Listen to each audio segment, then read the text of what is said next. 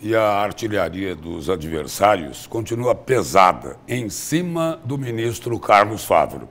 A cada semana, setores do agro insatisfeitos têm plantado novas denúncias na imprensa nacional.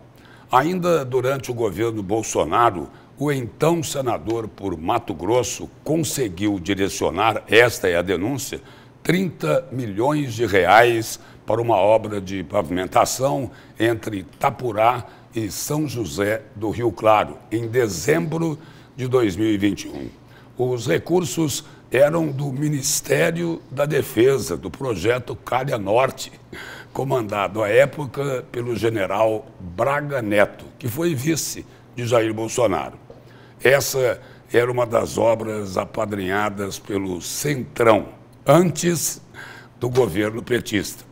Isso ocorreu depois que o Supremo acabou com aquela mamata né, do orçamento secreto, mas por meio da lei de acesso à informação, foi revelado que o atual ministro foi o padrinho oculto da obra, mas ele assumiu a paternidade.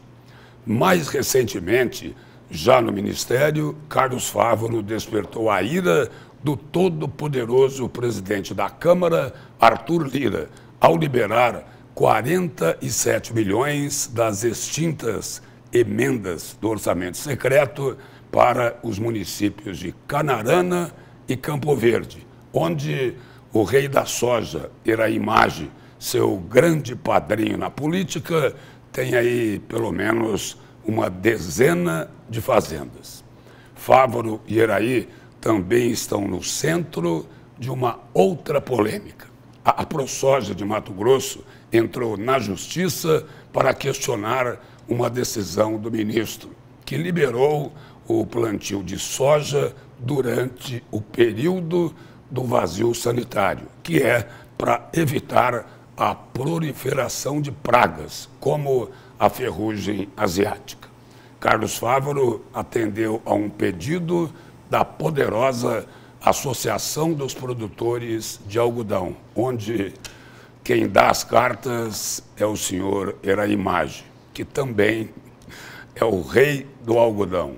Pois bem, são os lulistas ligados ao governo enfrentando a ira do agro bolsonarista.